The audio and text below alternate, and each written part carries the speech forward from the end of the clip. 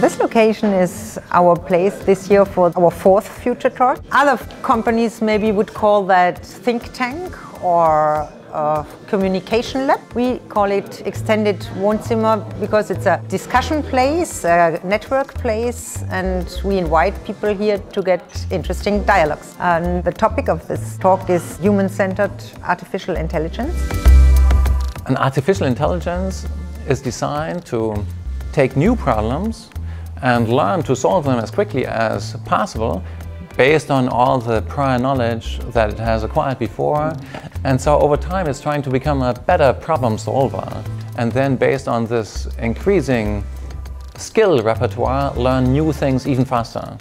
I think in the near future we are going to have superhuman pattern recognition all over the place in many, many uh, domains and uh, this is going to completely change the field of self-driving cars.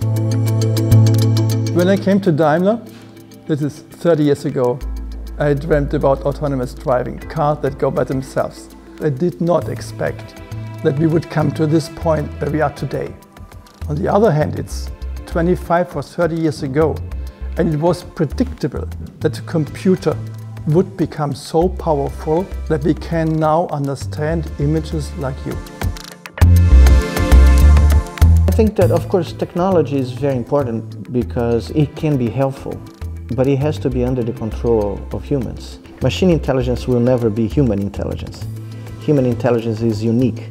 It's actually probably unique in the universe because our evolutionary process was unique. There is no blueprint to build an organism and you simply cannot reproduce that in a machine. So in my opinion, it's a very central debate Uh, at this moment in our species history because I don't want our species to become a machine.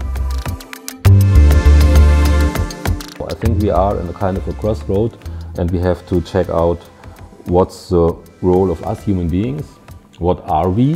That's a strong question today. What are we? Yeah, like in neuroscience, you learn about the brain. And on the other hand, technology, digital technology, robots, the physical world, uh, how will that develop and how will it interact? That's now the key question. So right now we are developing a Mercedes-Benz chatbot where you as a customer, you can log in Facebook for example, you can open the Mercedes-Benz website, you can start a chat Ask a question to Mercedes-Benz and you get provided with an answer immediately.